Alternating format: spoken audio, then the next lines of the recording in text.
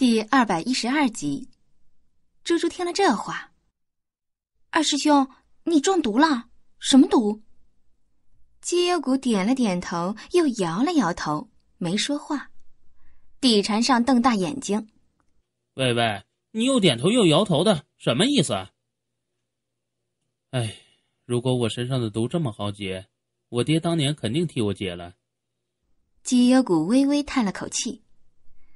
猪猪不明就里，着急道：“二师兄，你看看你中的哪种毒，一定有办法可以解的。”说着，把手上的一卷万毒谱递了过去。在猪猪看来，这个记载了万毒谱的玉简，他们这三个元婴修士身上最有价值的东西，其中对于毒物毒药的介绍可谓包罗万象，还有苏淡红炼毒的心得。姬幽谷深深吸一口气，凝神以神识扫过玉简中的内容。当年他被苏淡红下毒，对方由始至终没有提过他在身上中的是什么毒。后来天真道君替他疗毒，也只向他父亲描述过毒性，并不清楚究竟是哪一种。如果中毒时间不长，猪猪可以利用秘泉净火局部替他炼化毒素。但基幽谷中毒已经超过二十多年。又曾以药物压制毒性，毒素早就融入他的骨血，再用秘泉净火解毒，那就不是救命，而是自杀了。他修炼的水系木系功法，秘泉净火渗入全身，连他的性命都会一并的被炼化掉。过了好一阵儿，基优谷终于吐出一口气：“魍魉之毒。魍魉之毒是天然生成的。”通常在一些隐秘的山谷之中，因为特殊地形和气候环境，经过千万年的光阴，慢慢的凝练融合而成，包含了谷中所有的瘴气、毒虫、毒草的阴寒毒气，再经由炼毒高手凝练而成。因为形成魍魉之毒纯属机缘巧合，所以世间难得一见。苏淡红的万毒谱上有提及这种毒。他也偶然在某个不为人知的绝谷中得到，足足花了三年时间温养凝练，大部分融入了他的毒功之中，只余小部分在身边。万毒谱上没有片言之语提及如何才能解除魍魉之毒，只说中了毒的人终生难以摆脱毒素影响，即使一时压制，五十年内也会爆发。毒发时，中毒者修为会迅速倒退，全身肌肉骨骼一点一点溃烂，死状惨烈无比。毒素潜伏在体内如复古之躯，无迹可寻。就算顶尖修士也难以察觉，更别谈救治。地禅上石应律、尹子章连同猪猪看到这一段，心情都沉重无比。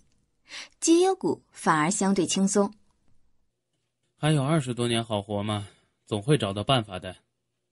太虚宫的双修之法，不真的可以解毒？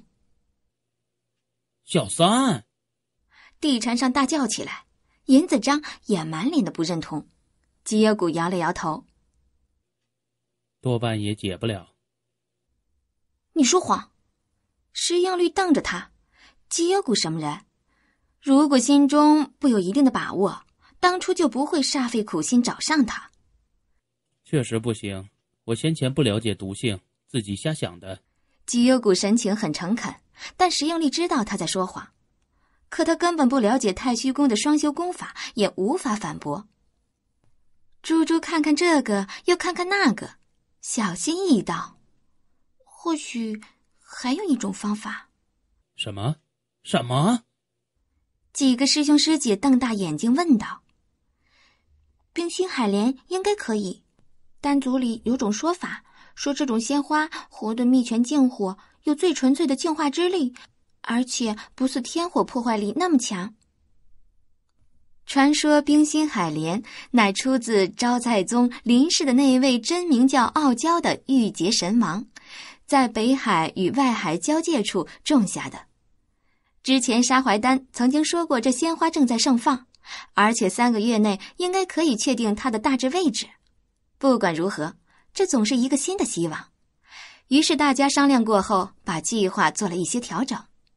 绩优谷与石应律仍留在阴阳岛，地禅上全速赶往圣智派去报信，而银子章和猪猪则一起前去寻找冰心海莲的踪迹。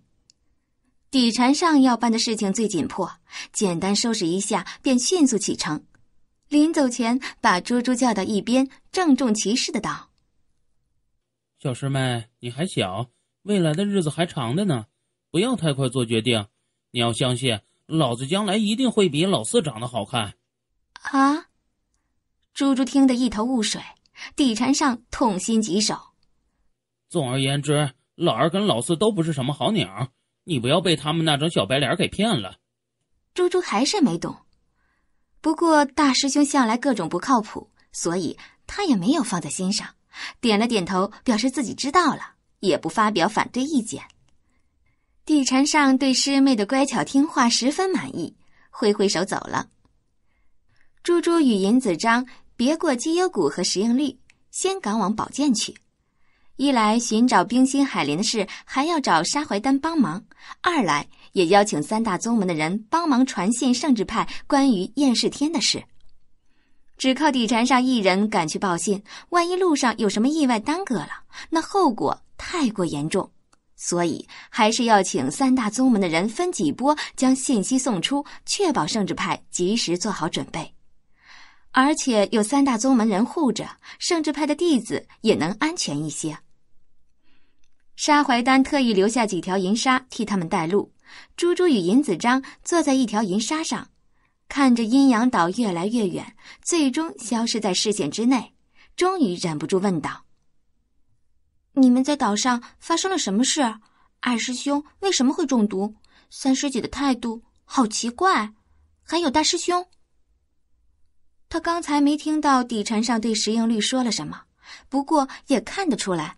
二师兄似乎被他与银子章排斥了，不知道二师兄做了什么让大家不满的事，连石英绿那么好脾气的傻大姐也被得罪了。尹子章把之前的事详细的对猪猪说了一遍，猪猪轻声道：“二师兄，他既然把这些事说出来，那他就是已经放弃利用三师姐解毒了。其实，二师兄也很可怜。”有那样的娘亲，不知道三师姐会不会原谅他？银子章不置可否，心里想的却是：三师姐这么好骗，二师兄要把她哄住，简直没有难度。不过这话说出来，猪猪一定会反驳，所以他也懒得说了，改问起猪猪吸收秘泉净火的事。猪猪把事情原原本本的说了一遍。虽然努力淡化其间的凶险痛苦，但银子章却已经听出不对了。他伸手揉了揉猪猪的脑袋，有些无奈：“吸收天火很难过吧？”如果不是迫不得已，以猪猪的性子以及对厌世天的恐惧，绝对不会冒着被后者发现的危险，从铜镯子里释放出木灵的。他有些心疼，有些难过。偏偏吸收天火这种事，他无法替他分担。如果他再强一些，可以将猪猪保护好，他就不必冒险去吸收天火了。猪猪眨眨眼，回想起那个过程，忍不住打了个冷战，轻声道：“是很难过，不过已经没事了。”银子章笑着骂了一声“笨猪”，他真正见识过厌世天与自己的差距，他要想保护猪猪，还要更多更多的努力。我才不笨，长老们都夸我天分好，悟性高。是啊，才二十岁的元婴后期，还吸收了三种天火。你会不会觉得不高兴？我为什么要不高兴？你又蠢又懒，我早晚会比你厉害。而且你现在修为高些，燕世天找上来，你打不过，起码可以跑掉。等将来我修炼有成，你就不用再怕他了。猪猪很开心的用力点头，他的阿张有天分又勤奋，一定会很快超过那个变态的恶魔。你又在做什么？银子章坐在猪猪身后，发现他低着头在翻储物腰带里的东西。我找幻魅灵石那个坠子，还有你给我的玉佩。猪猪后知后觉的想起，他忘记把坠子和玉佩带回去了。那个坠子你不用带了。咦，你不是不习惯吗？你本来就是那个样子的，我总要慢慢习惯，也没有必要掩饰修为。反正现在燕世天已经知道了你的身份了。尹子章心里有些郁闷。大师兄看见猪猪的真实容貌，那个色眯眯的模样，让他的手很痒，很想把他暴打一顿。以猪猪的美貌与实力，还有出类拔萃的炼丹术，将来会对他产生兴趣，甚至热烈追求的人，不知道会有多少。从前考虑到他的安危，不得不小心掩饰。现在既然掩饰已经无用，他没理由为了自己的一点私心，就让猪猪继续承受别人的异样目光。猪猪她本来就是冠绝天下的美人儿，有着无人能及的天赋，不该因为她而刻意的矮化丑化自己，那是对他们两个人的侮辱。猪猪隐约明白尹子章的意思，心里既感动又甜蜜快活。厌世天的阴影都被抛到了天边，大海茫茫，天地一片浩瀚苍凉，寒风如刀，他却觉得如置身天堂一般。尹子章与猪猪回到宝剑附近，就见向传谦远远的迎了上来。一兄弟，假火长老吩咐要你一回来便去见他们。尹子章点了点头，拉过猪猪就想登上宝剑。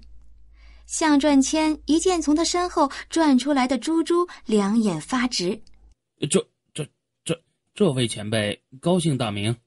美女，他这辈子没见过美成这样的女子。而且对方的修为竟然是元婴后期，他有没有眼花呀？向传谦用力的揉揉眼睛，再看时，尹子章已经带着猪猪飞身落到宝剑的甲板上，根本没有理会他的问题。向传谦忽然想起猪猪，那个小姑娘不是跟尹子章是一对儿吗？那今日跟尹子章手牵手、情状亲密的又是谁？驻守在甲板上的三大宗门弟子同样吃惊不少。虽然猪猪已经将元婴修士的威压收敛的干干净净，但是身上散发的气息明明白白昭示着他高的离谱的修为。绝大多数人看到猪猪都不可避免先被她的美丽容貌迷住，继而被她绝高的修为吓住。甲板上的人就这么一个个呆若木鸡，目送两人的背影消失在。亭门后面，过了好一阵儿，忍不住交头接耳议论起来。好几个人一拥而上，围住向传谦打听起来：元婴期女修还是元婴后期？从气息上看，其修为甚至比假火道君更高。向传谦没好气道：“你们问我，我问谁？回头等我跟净善师叔打听打听再说。”一前辈的运气真好啊！竟然认识了这么一个厉害又漂亮的女修士，不会是太虚宫的太上长老吧？是啊，是啊，看他们这么亲近。不过那位女前辈看起来好像比一前辈还小。不会是采阴补阳，所以才这么年轻吧？嘿嘿嘿，采你个头！前辈的事轮得到你在这里胡说八道，活得不耐烦了。向传谦神色不语。抬手狠狠的拍了那弟子的脑袋一下，也许是吃人的嘴软，向传谦一想到尹子章背着猪猪跟另一个女修行迹亲密，便觉得很是不以为然。可是猪猪又怎么能跟人家比呢？哼，枉他一直以为尹子章品行端正，原来也是个混蛋。几位年轻弟子被向传谦凶恶的神情吓了一跳，连忙闭嘴。元婴后期修士耳目聪灵，只怕这宝剑上所有人的一举一动都逃不过他们的耳目。自己的这些不敬言辞，如果让那女前辈听到了，发起火来，他们十条命都不够送的。猪猪根本没心情去听这些闲言碎语，他被宝剑正厅上隆重又肃穆的气氛弄得很不自在。丹族的四位长老赫然在座。见他跟尹子章相携走进来，都不由得抖了抖眉毛。他们认得这小子是与猪猪一起去救他们的人之一，会为了猪猪冒险拼命，甚至不惜得罪燕世天，自然都是跟他关系密切的人。不过眼下看来，这关系好像比他们想的还要密切一些。一时间，四个老者扫向尹子章的神情都多了几分考究、挑剔的意味。他们的小公主可不是什么人都能配得起的。家伙道君听到他们的脚步声，竟抢先带着晋善、季祥两位道君齐齐的起身相迎，让猪猪一阵受宠若惊。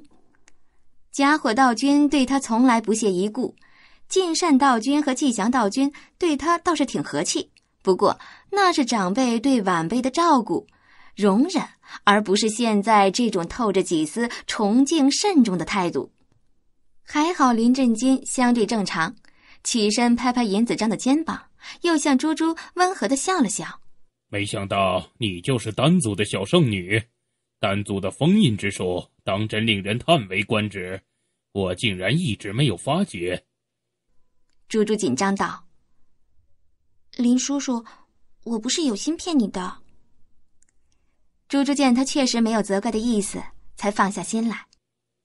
我明白，你对整个丹族而言太过重要了，小心些也是应该的。